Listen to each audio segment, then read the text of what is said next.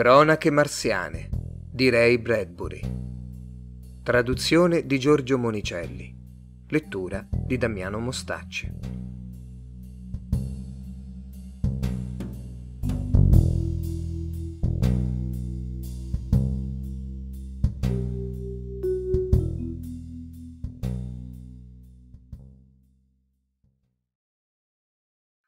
Agosto 2002. Incontro di notte. Prima di avviarsi su per le colline azzurre, Tomás Gomez si fermò a fare il pieno di benzina davanti al solitario posto di rifornimento. Un luogo piuttosto isolato questo, eh nonno? disse Tomás. Il vecchio si mise a spolverare il parabrezza del camioncino. Non c'è male. Ti piace Marte, nonno? Molto. C'è sempre qualche cosa di nuovo. Decisi quando venni qui l'anno scorso di non aspettarmi nulla, di non chiedere nulla, di non stupirmi di nulla. Dobbiamo dimenticare la terra e la vita che ci facevamo. Dobbiamo tener presente il motivo per cui siamo qui, eh, la diversità di questo mondo. Io mi sono divertito straordinariamente solo a vedere il tempo che ci fa su questo pianeta. È meteorologia marziana, capisci? Caldo infernale di giorno, freddo dannato la notte. La soddisfazione che si ha a vedere come sono diversi i fiori, com'è differente la pioggia, dove la metti? Sono venuto su Marte quando sono andato in pensione e ho voluto andare in pensione in un posto dove tutto fosse diverso. Uh, un vecchio ha bisogno di avere intorno delle cose diverse. I giovani si annoiano a parlare con un vecchio e gli altri vecchi lo annoiano terribilmente. Per cui pensai che la cosa migliore per me fosse scegliere un posto così diverso che bastasse aprire gli occhi intorno per divertirsi. Sono riuscita a ottenere questa stazione di rifornimento. Se ci sarà da sgobbare troppo, mi trasferirò su qualche altra arteria meno densa di traffico, dove mi sia possibile guadagnare abbastanza da vivere e insieme avere il tempo di avvertire la differenza delle cose qui. E l'hai pensata giusta, nonno? Disse Tomas, le mani brune abbandonate languidamente sul volante. Era contento, a suo agio. Aveva lavorato sodo per dieci giorni di fila in una delle nuove colonie ed ora aveva due giorni di ferie e si stava recando una festicciola. Non c'è più nulla che mi stupisca ormai, riprese il vecchio. Mi limito a guardare intorno, a fare prove. Se non puoi prendere Marte per quello che è, tanto vale tornare sulla Terra. Tutto è pazzo quassù.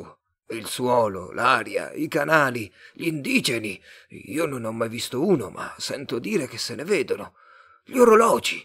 Perfino il mio orologio si comporta da pazzo. Perfino il tempo fa il pazzo quassù.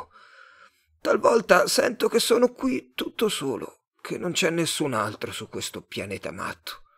Ci scommetterei non so che su questo pianeta.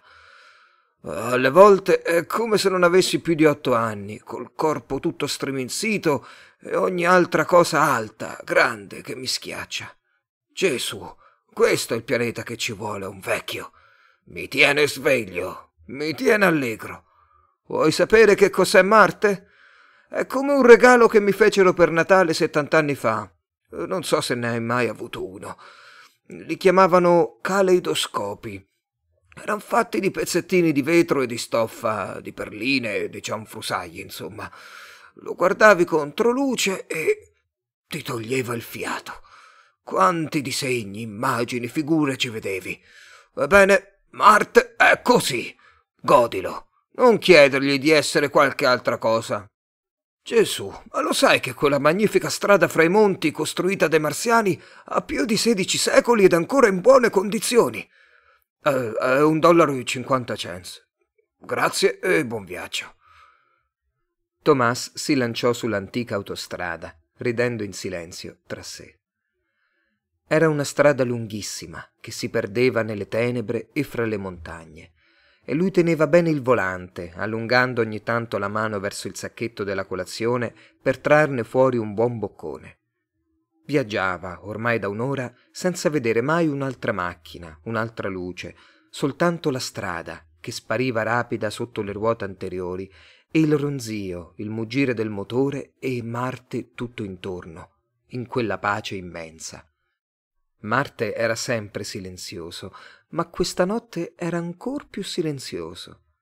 I deserti, i mari inariditi gli fuggivano accanto, con le montagne sullo sfondo stellato. C'era come un odor di tempo nell'aria quella notte. Tomas sorrise all'idea, continuando a rimuginarla. Era una strana idea. E che odore aveva il tempo, poi? Odorava di polvere, d'orologi e di gente. E che suono aveva il tempo? Faceva un rumore di acque correnti nei recessi bui d'una grotta e di voci querule e di terra tambureggiante con suono cavo su coperchi di casse e rumore di pioggia.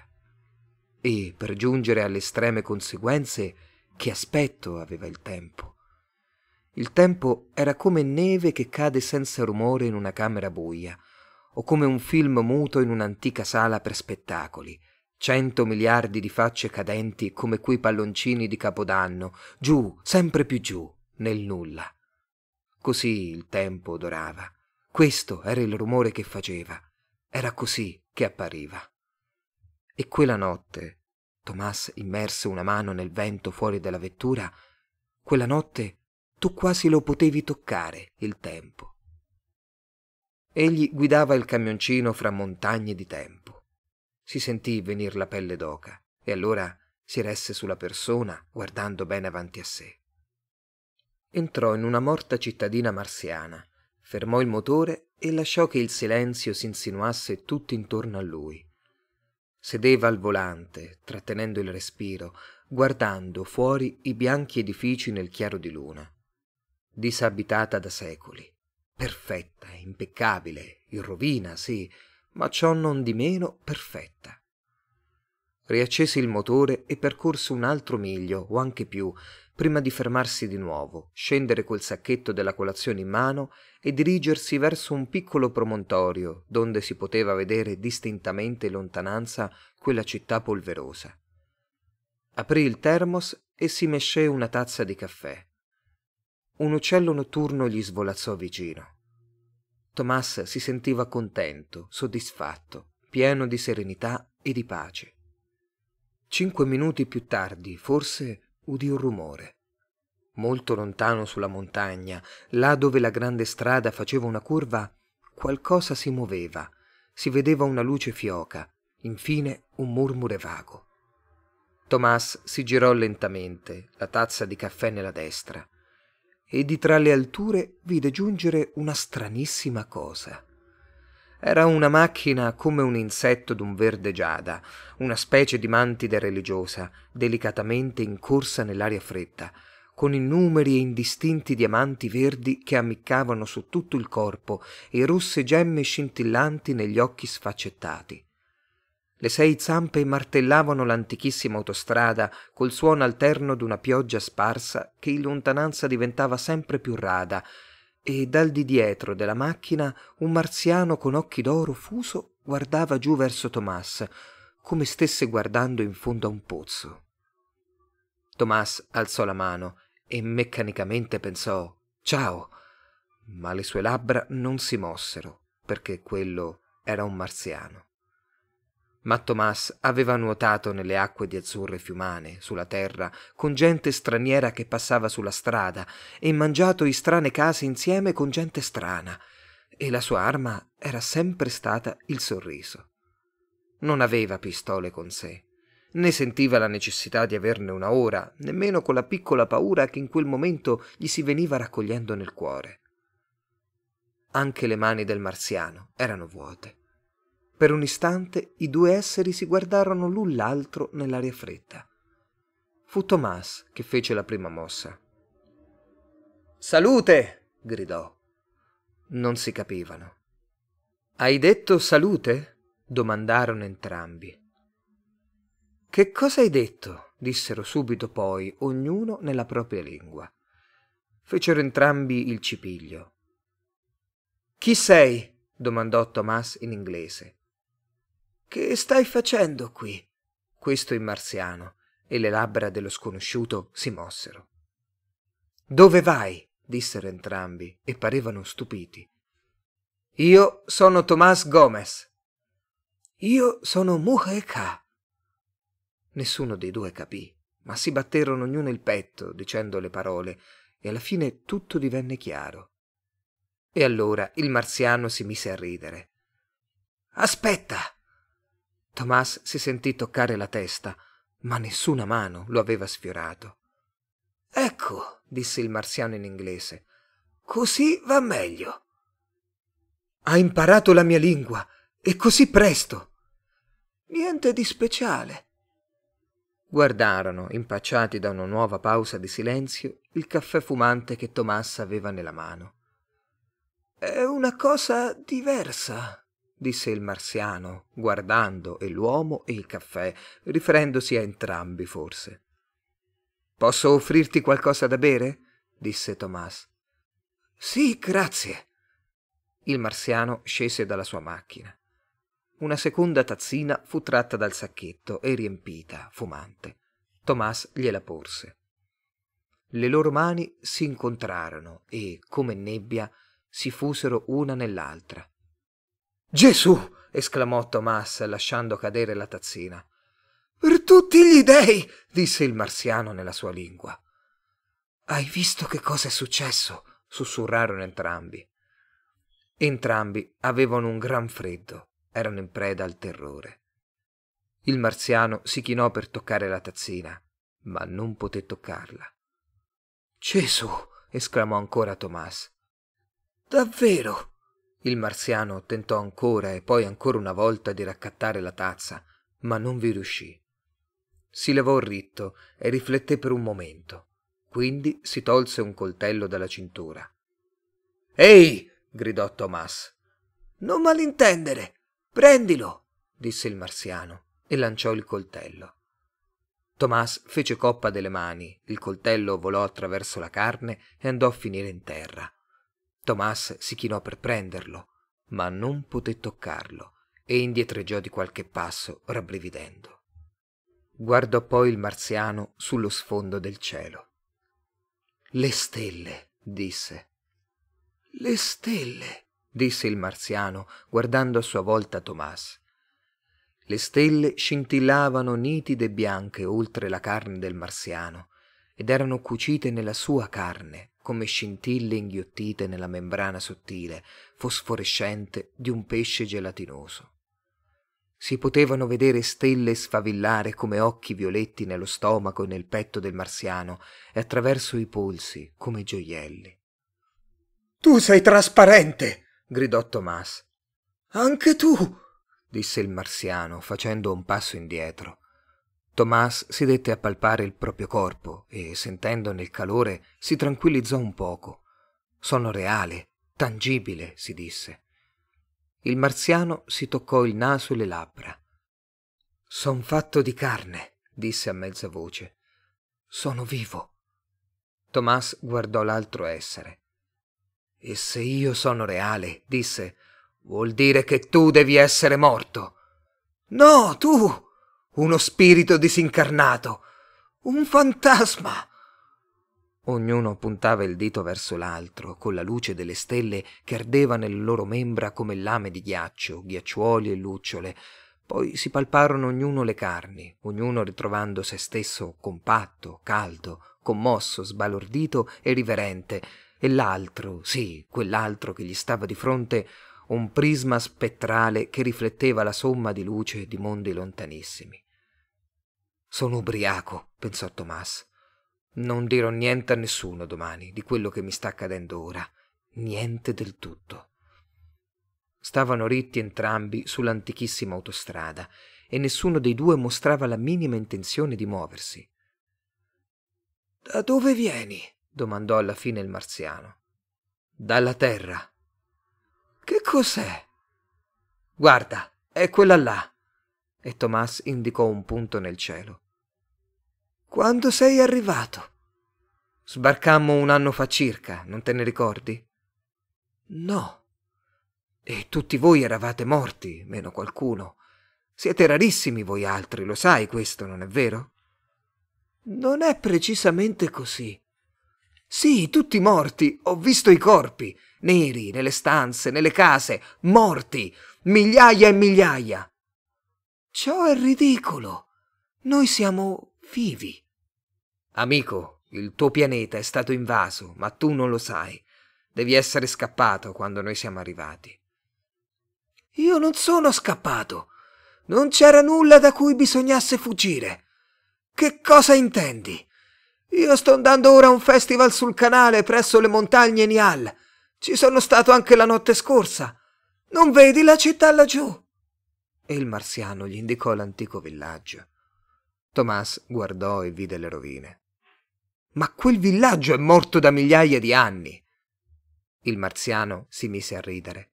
Morto? Ma se ieri io ci ho dormito! E io ci sono stato una settimana fa e la settimana precedente e ci sono passato con la mia macchina poco fa e son tutti ruderi. Non vedi quelle colonne spezzate? Spezzate! Io le vedo perfettamente, grazie anche al chiaro di luna. E per me quelle colonne sono erette e intatte. Tutta quella polvere per le strade cittadine. Sono strade pulitissime. I canali sono vuoti laggiù. I canali sono ricolmi di vinti lavanda. È tutto morto. È tutto vivo, protestò il marziano, scoppiando a ridere di tutto cuore. Oh, ma come ti sbagli? Non vedi tutte le luminarie del carnevale? E ci son barche bellissime, esili come donne, e donne bellissime, esili come condole, donne color le sabbie, donne con fiori di fuoco nelle mani. Posso vederle, piccole piccole di qua, correre per quelle vie. Ed è là che ora vado, al festival. Navigheremo sulle acque, canteremo, berremo, ameremo. Possibile che tu non riesca a vedere tutto questo? Amico, quella città è morta come una lucertola secca.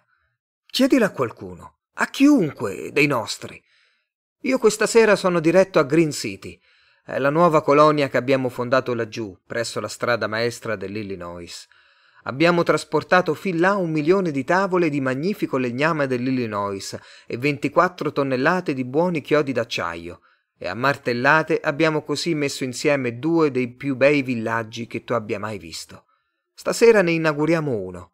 Un paio di astronavi sono in arrivo dalla Terra, con a bordo le nostre mogli e le nostre ragazze. Ci saranno danze campestri e whisky. Il marziano parve improvvisamente impressionato. Hai detto che è laggiù, in quella direzione? Sì, guarda, ci sono i due razzi. Guidò il marziano fin sull'orlo del poggio e puntò l'indice. Vedi? No, come accidenti? Guarda di là, quei lunghi dardi d'argento. Non vedo niente. Fu Tommaso ora che si mise a ridere. Amico, ma tu sei cieco. Io ci vedo benissimo. Sei tu che non vedi. Ma il nuovo villaggio, quello, lo vedi, no? Io non vedo altro che un oceano e la marea è bassa. Amico di Marte, l'acqua di quell'oceano è svaporata da almeno quaranta secoli. Ah, ma ora questo è troppo. È la pura verità, credimi. Il marziano si fece molto serio. Dimmi veramente, tu non vedi la città che ti ho descritta? Le colonne bianche, le barche sottili, le luci del festival. Oh, io le vedo nitidissime. E senti, io odo cantare. Non sono poi così lontani. Tomas tese l'orecchio e infine crollò il capo. Non sento nulla. E io, per parte mia, disse il marziano, non posso vedere quello che tu descrivi. Strano.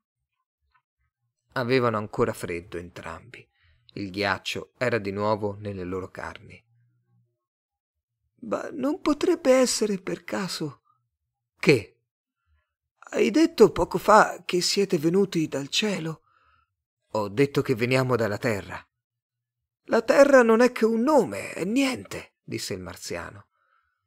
Ma mentre venivo su per il passo un'ora fa, e si toccò con aria incerta la nuca, ho avuto una sensazione di freddo, come se la carne ti si raggrigiasse. Sì. E ora? ancora questa sensazione di cielo. Che strano.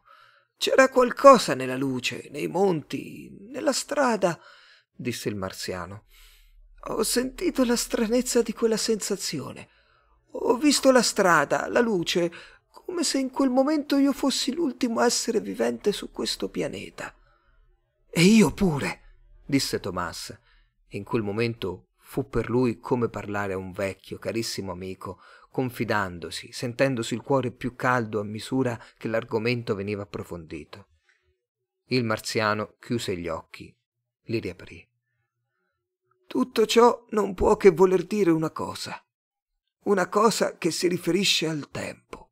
Sì, tu sei un elemento costitutivo del passato.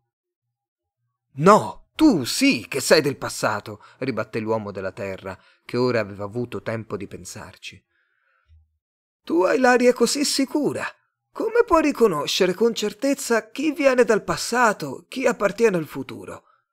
In che anno siamo? Nel 2002. È un numero che per me non ha significato. Tomas rifletté un istante prima di rispondere con un'alzata di spalle. Già, che può dire a te? È come se io ti dicessi che siamo nell'anno 4.462.853 S e C.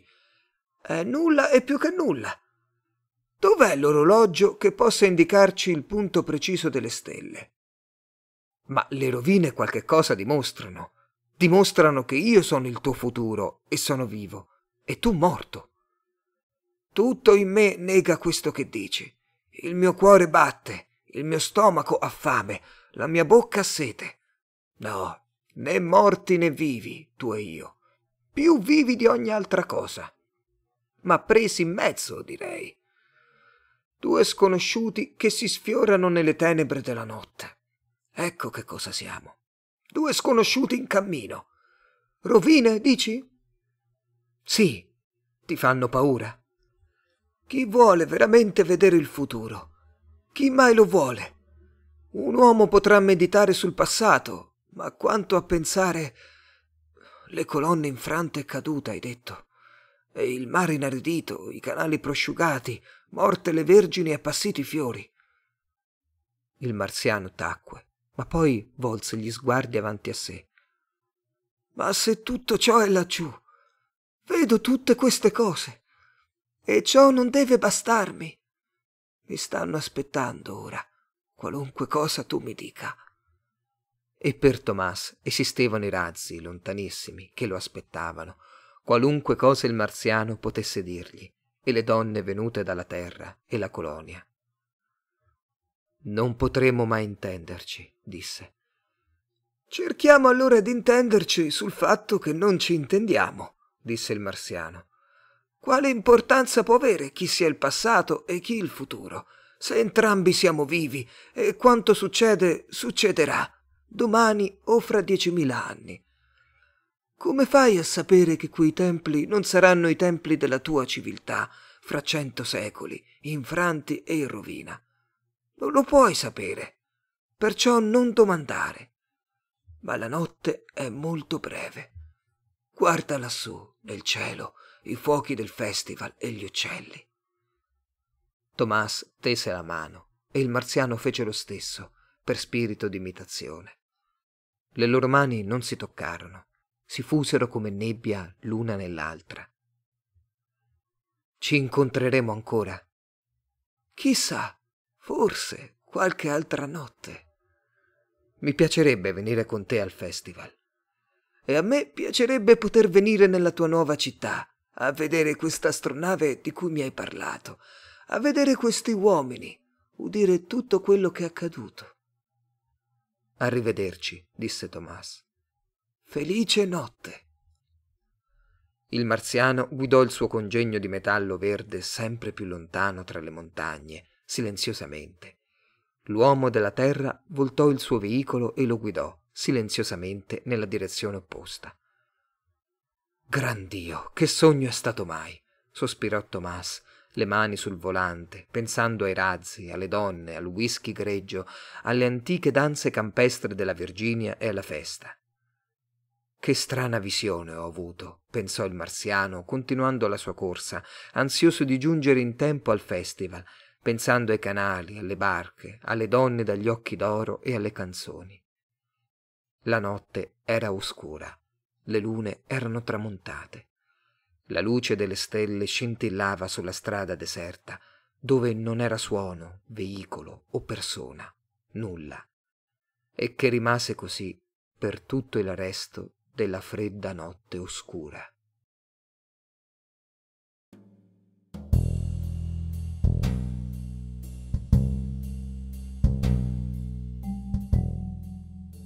Grazie per l'ascolto. Se il racconto ti è piaciuto, per favore, metti un like per sostenere il canale.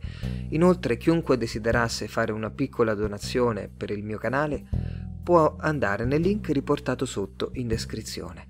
Grazie ancora e alla prossima. Thank you.